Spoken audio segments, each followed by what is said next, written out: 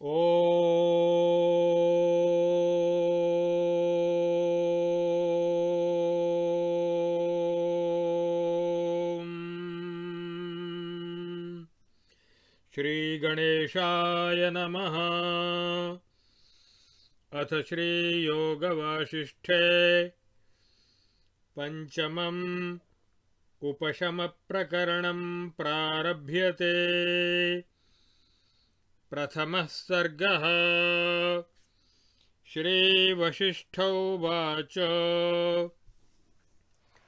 अथो स्थितिप्रकरणा दनन्तरमिदं शृणु।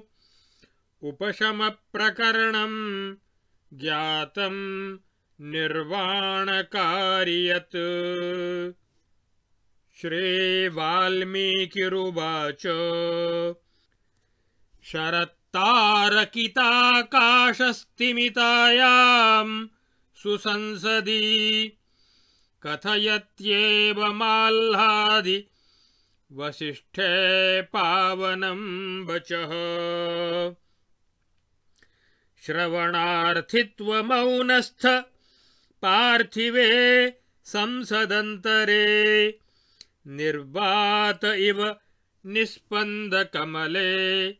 कमलाकरे। विलासिनीषु संशान्तमदमोह बलासु च शममन्तः प्रयान्तीषु चिरप्रव्रजितास्विव। कराम्भोरुहंसेषु लीनेषु श्रवणादिव मुक्तघुर्घुरवादेषु बायसेषु तराविव। नासाग्रपरिविश्रान्त तर्जन्यङ्गुलिकोटिषु विचारयत्सु विज्ञानकलां तज्येषु राजसु। रामे विकासमायाते प्रभात इव पङ्कजे। परित्यक्ततमः पीठे सूर्योदय इवाम्बरे।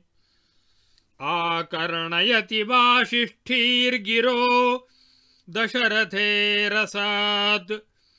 कलापिनीव जीमूत निर्हादान्मुक्तवर्षणात् आहृत्य सर्वभोगेभ्यो मनोमर्कटचञ्चलम् श्रवणं प्रतियत्नेन सारेण मन्त्रिणि स्थिते।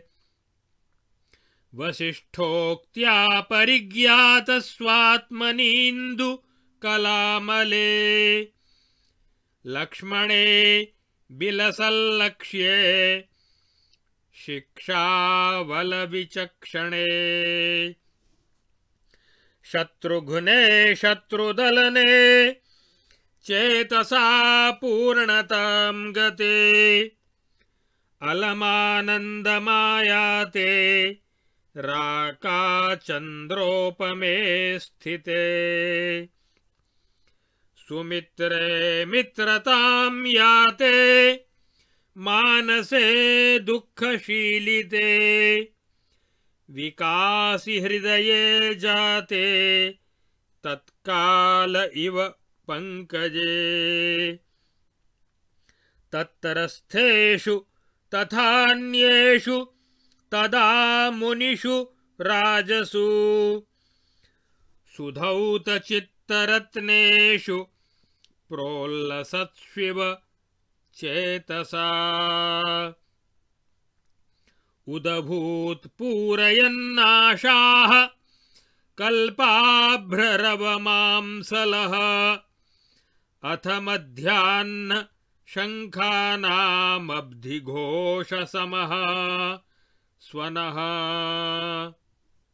महता तेन शब्देन तिरोधानं मुनेर्गिरः ययुर्जलदनादेन कोकिलध्वनयो यथा। मुनिरन्तरयां चक्रे स्वाम्बाचमथ संसदि जितसारो गुणः केन महता समुदीर्यते मुहूर्तमात्रं विश्रम्य श्रुत्वा मध्याह्ननिस्वनम्। घने कोलाहले शान्ते रामम् मुनिरुवाचः। रामाद्यतनमेतावदाह्निकम् कथितं मया प्रातरन्यत्तु वक्ष्यामो वक्तव्यमरिमर्दन। इदं नियतितः प्राप्तम् कर्तव्यम् तद्विजन्मनाम्। मध्याह्नमुपपन्नं यत्कर्तव्यं नावसीदति। त्वमप्युत्तिष्ठ सुभग समस्ताचारसत्क्रियाम् आचराचारचतुरस्नानदानार्चनादिकाम्। इत्युक्त्वा मुनिरुत्तस्थौ समम् दशरथः प्रभुः। स सदाह सेन्दुरादित्य उदयाद्रितटादिव। तयोरुत्तिष्ठतो सर्वा सभोत्थातु मकम्पत। मन्दवातपरामृष्टा नलिनीवालिलोचना। उत्तस्थौ सावतंसोत्थ भृङ्गमण्डलमण्डिता। करिसेनेव सन्ध्याद्रावालोलकरपुष्करा परस्पराङ्गसङ्घट्ट चूर्णिताङ्गदमण्डली। रत्नपूर्णारुणाम्भोद सन्ध्यासमय सूचनी पतदुत्तंस बिभ्रान्त भृङ्गोपहित घुम्घुमा मुकुटोद्दामविद्योत शक्रचापीकृताम्बरा कान्तालताहस्तदल चारुचामरमञ्जरी। वनलेखेव विक्षुब्ध वरवारणमण्डला। कचत् कटकभारक्ती कृतान्योन्यतताम्बरा वातव्याधूतपुष्पेव मन्दारवनमालिका। कर्पूरकणनीहार रचितामलवारिदा। शरदिक्तटमालेव प्रश्रिता शेषभूमिका। लोलमौलि मणिप्रान्तपाटलाम्बरकोटरा सन्ध्येवा फुल्लनीलाब्जा। कार्यसंहारकारिणी। रत्नांशुसलिलापूर मुखपद्मनिरन्तरा पद्मिनी वालिवलिता नूपुरारवसारसा सन्तता सा सभोत्तस्थौ भूभृच्छत समाकुला। भूतसन्ततिसम्भ्रान्ता सृष्टिर्नवमि बोदिता प्रणम्याथ नृपं भूपा निर्ययुर्नृपमन्दिरात् शक्रचापीकृता रत्नैरम्बुधेरिव वीचयः। सुमन्त्रो मन्त्रिणश्चैव वसिष्ठमथ भूमिपम्। प्रणम्य जग्मुः स्नानाय रसविज्ञानकोविदाः। वामदेवादयश्चान्ये विश्वामित्रादयस्तथा। वसिष्ठम् पुरतः कृत्वा तस्थुरावर्जनोन्मुखाः। राजा दशरथस्तत्र पूजयित्वा मुनिव्रजम्। तद्विसृष्टो जगामाथ स्वकार्यार्थमरिन्दमः वनं वनास्पदा जग्मुर्व्योम व्योमनिवासिनः। नगरं नागराश्चैव प्रातरागमनायते। महीपतिवसिष्ठाभ्याम् प्रणयात् प्रार्थितः प्रभुः। वसिष्ठसद्मनिनिशाम् विश्वामित्रोत्यवाहयत् वसिष्ठः सह विप्रेन्द्रैः पार्थिवैर्मुनिभिस्तथा। उपास्यमानो रामाद्यैः सर्वैर्दशरथात्मजैः जगाम स्वाश्रमं श्रीमान् सर्वलोकनमस्कृतः। अनुयातः सुरौघेन ब्रह्मलोकमिवाब्जजः।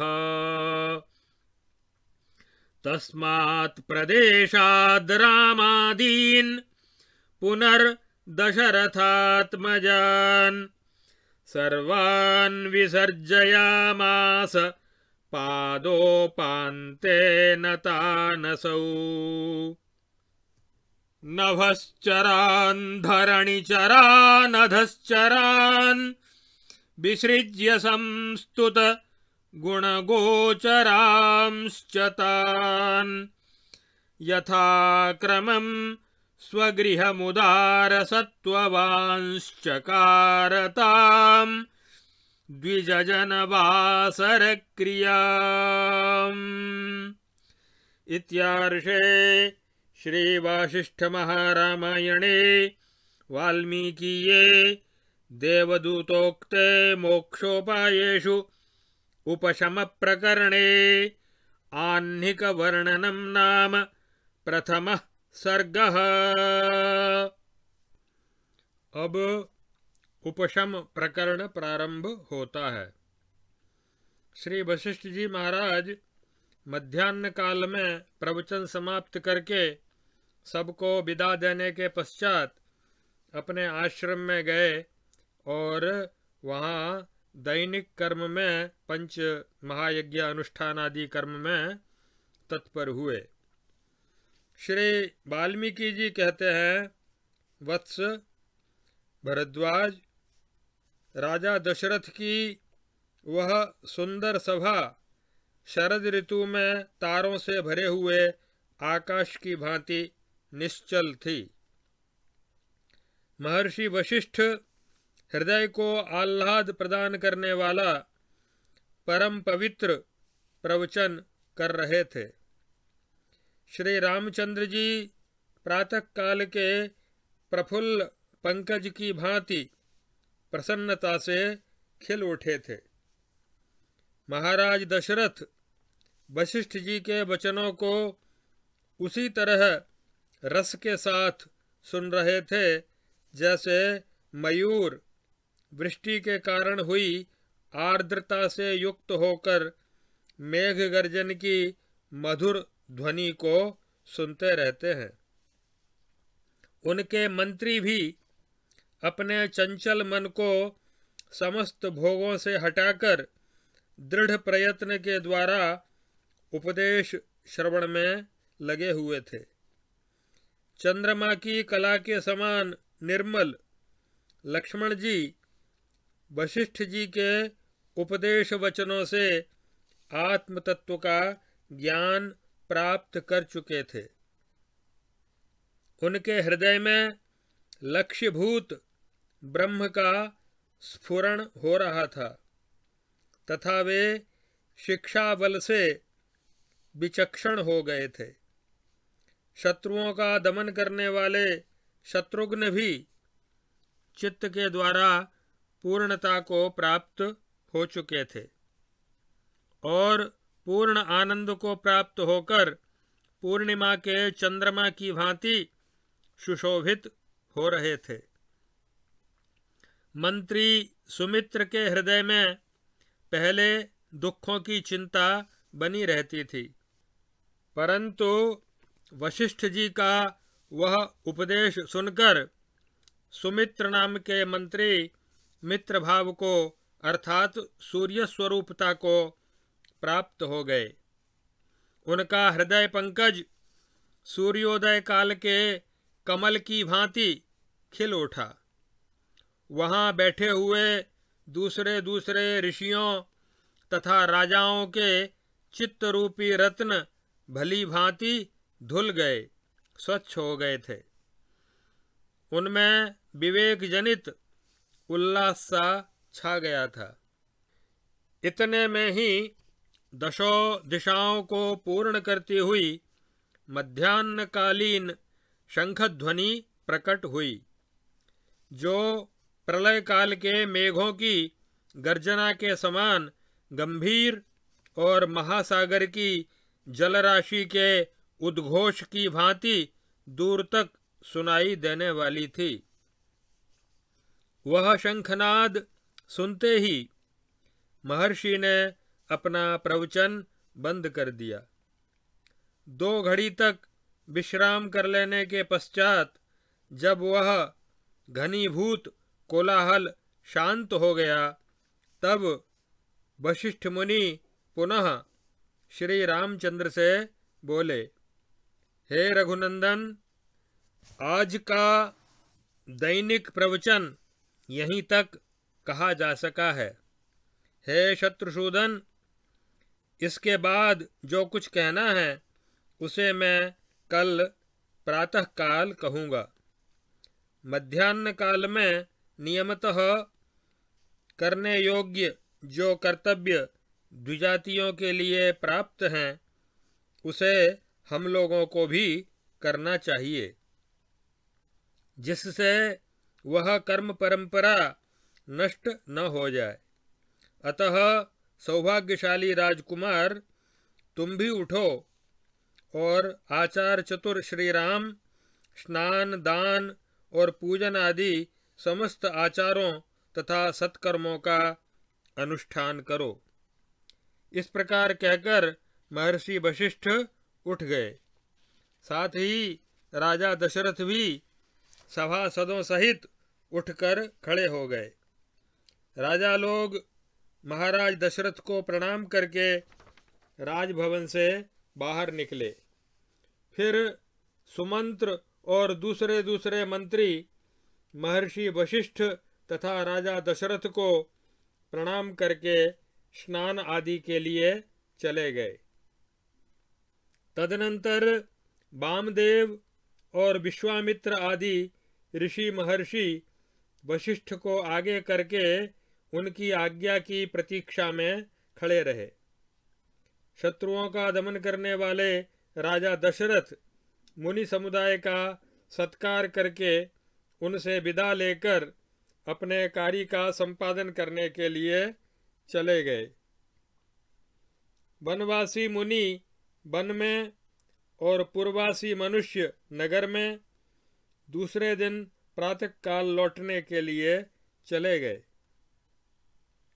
राजा दशरथ और वशिष्ठ मुनि के प्रेम पूर्वक अनुरोध करने पर विश्वामित्र ने वशिष्ठ जी के घर में रात्रि बिताई। श्रेष्ठ ब्राह्मणों, राजाओं, मुनियों तथा श्रीराम आदि समस्त दशरथ राजकुमारों से घिरे हुए सर्वलोक वंदित श्रीमान वशिष्ठ जी उसी तरह अपने आश्रम को गए, जैसे कमल योनि ब्रह्मा देव समुदाय के साथ ब्रह्मलोक में पदार्पण करते हैं। तत्पश्चात अपने चरणों पर गिरे हुए श्री राम आदि समस्त दशरथ राजकुमारों को वशिष्ठ जी ने अपने आश्रम से विदा किया और अपने घर में प्रवेश करके उन उदार चेता महर्षि ने द्विजनोचित दैनिक कृत्य पंच महायज्ञों का अनुष्ठान संपन्न किया। इस प्रकार वाल्मीकि प्रणीत वाशिष्ठ महारामायण के देवदूतोक्त मोक्षोपायों में उपशम प्रकरण में आन्निक कृत्यों का वर्णन करने वाला यह प्रथम सर्ग पूरा हुआ।